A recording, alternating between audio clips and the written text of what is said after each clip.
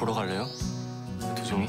그 여성들의 마음에 불을 질렀던 가 연우진입니다. 반갑습니다, 여러분. 뭐 로맨스 장인이다. 그 샤워 키스라던가 강릉 샤워 장인. 그런 사람 그런 사람이에요? 베드신은 연기예요. 굉장히 어려운 연기. 그게 정말 어렵더라고요. 곰이랑 베드신을 해야 되는데 우리가 지금 뭘 하고 있는 거지?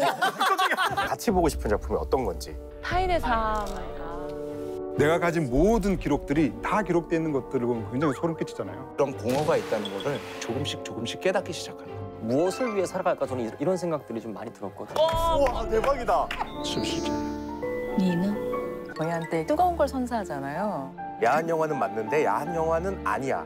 몰아치는데 격렬하진 않아요. 인터뷰를 할 때 들은 내용이 굉장히 인상적이었는데 그 눈빛을 지- 직접 한번 받아본 경험이 있어서 어? 자, 우리 솔직해지도록 합시다. 아니야. 나 쓰레기 아니야. 야심만 밤에 봤던 기억이 있네요. 학교 다음 날 안 갔어 요.